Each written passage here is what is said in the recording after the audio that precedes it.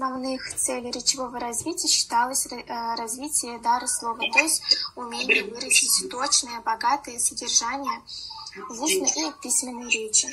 Мы рассмотрели понятие э, предметом технологии развития речи, предмет технологии развития речи, язык, речь, развитие речи, обучение языку, функции речи, речевой язык, речевое умение.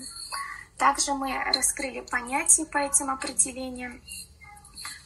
Э, эти понятия, э, так, мы рассмотрели понятия Валентины Ивановны Яшиной, Оксаны Семеновны Ушаковой, Константина Дмитриевича Ушинского, э, Даниэля Борисовича Ильконина, Льва Семеновича Выгодского и Алексея сводится к времени, необходимому ученику для учебного материала.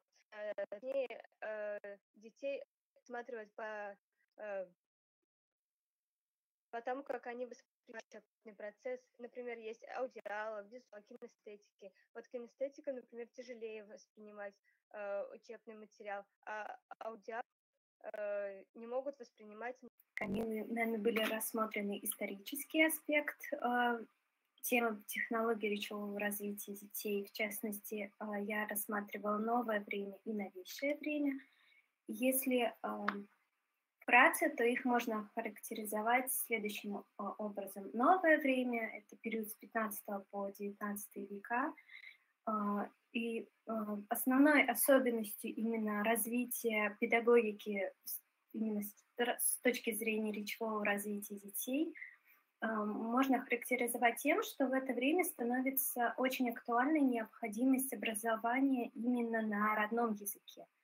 В частности, э, Пистолоци э, разрабатывал теорию элементарного образования. Он э, считал наиболее важной способность именно правильно употреблять слов и строить именно обучение с точки зрения правильного речевого развития детей. Он определял первым, по-моему, даже определил три этапа педагогической работы по развитию речи детей. Это обучение звука, обучение слову, обучение речи. И он разработал систему упражнений для развития познавательных речевых а, способностей, и в дальнейшем эти идеи уже получили а, свое развитие как в западноевропейской а, педагогике, в частности в работах Фрёбеля, так и в отечественной, в работах Ушинского, Тихеевой. А, в то же время в начале XIX века большое влияние на развитие именно теории и практики дошкольных образовательных учреждений, опять-таки оказал Флёбель.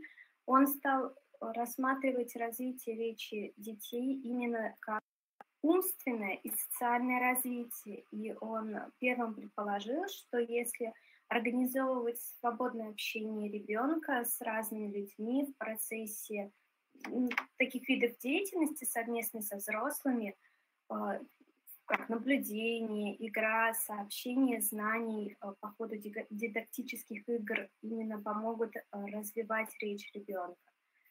Вот. В то же время, если рассматривать новейшее время, 20 век, 21, то здесь уже методика развития речи детей, как отрасль педагогики, стала складываться как раз-таки приблизительно 20-е 30-е годы. Э, Ее становление и развитие происходило уже под влиянием богатых традиций, так скажем, начального обучения русскому языку. Это оформление методики, это э, различные э, появление, возникновение различных теорий общественного дошкольного воспитания, в частности, в период до Великой Отечественной войны, это период уже научного обоснования, идеологической оценки, пересмотра педагогического наследия до революционной России. И в это время именно особенностью является идея о ведущей роли литературы в развитии речи дошкольника.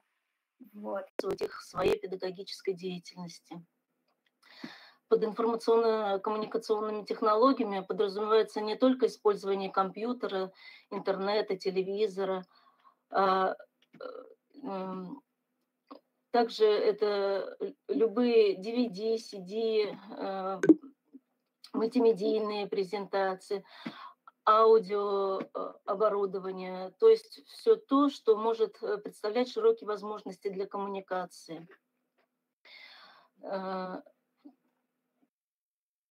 Например, можно предлагать задания детям по сочинению рассказов по картинке. Например, предлагается несколько картинок на экране, и ребенок должен составить по рассказ по данным картинкам. То есть первая картинка, допустим, начало, второе основная часть и третья заключительная.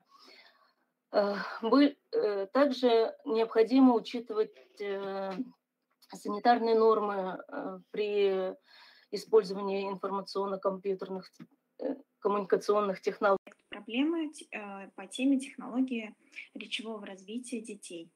А, я рассматривала этапы античность и средние века. По отношению к изучению речевых процессов античности. Этот период можно определить как зарождение первоначальных представлений о речи и речевой деятельности, а, многие из которых возникали в рамках философии и носили сугубо зрительный характер. А, так, великий философ Платон рассматривает речь как деятельность и порождение сознания человеком. Платон считает, что имя — это орудие обучения и распределения сущностей. Философ э, ставит вопрос э, э, обучения роли личности. Э, Платон не только ставит, но и пытается найти решение основополагающих проблем речевой деятельности, которые сейчас э, изучаются по сей день учеными. А далее Речь рассматривал великий выдающийся философ Древней Греции, это Аристотель. Он э, создает развернутую систему представления о речи, которая оказывает большое влияние на исследования в течение многих последующих веков.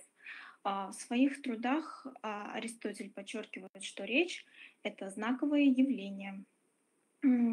То есть он э, рассматривает он выявил 10 категорий, которые в дальнейшем послужили основанием для соотнесения э, с определениями частями речи. То есть он задал несколько, 10 вопросов, которые в дальнейшем э, дали продолжение соотнесения частей речи. Следующий ученый э, – это индийский Ученый Бхатхари утверждал, что предложение — это основа языка, потому что оно выражает мысль. А, средние века — это ученые средневековья в процессуальном аспекте в основном занимали ее семантический компонент. А, речь изучалась э, чисто рационально, без исследования поведенческих конкретных знаний,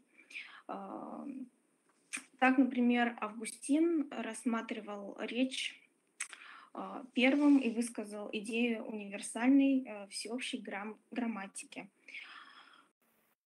А, вся деятельность дошкольной образовательной организации основывается на нормативно-правовую базу. Также и каждая образовательная область по ФГОС-ДО регламентируется нормативно-правовой базой.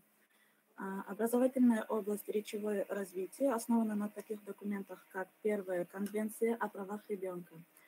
А, конвенция – это документ педагогического значения. Оно является основой педагогики и воспитания детей. А, основная идея конвенции заключается в обеспечении интересов ребенка. Ее положение сводится к четырем важнейшим требованиям. Это выживание, защита, обеспечение активного участия в жизни общества и развитие. А как мы знаем, а, развитие детей по ФГОС-ДО происходит в пяти направлениях, то есть в пяти образовательных областях, это, а, и среди которых э, есть речевое развитие. Второй документ – это концепция дошкольного воспитания, в котором написано, что реализация специфических диалогической, монологических форм и различных форм видов детской деятельности, практическое владение воспитанников ФГОС. Речевое развитие по ФГОС ДО – это одна из важнейших образовательных областей. Можно э, возразить, что не менее важно познавательное или физическое развитие, художественное, эстетическое или социально-коммуникативное. Да, они все важны, но полноценное развитие детей в любой из образовательных областей невозможно без речи, без общения, без коммуникативной деятельности. Образовательная программа ДО реализуется на государственном языке. Программа может быть реализована и на языке народов России, но не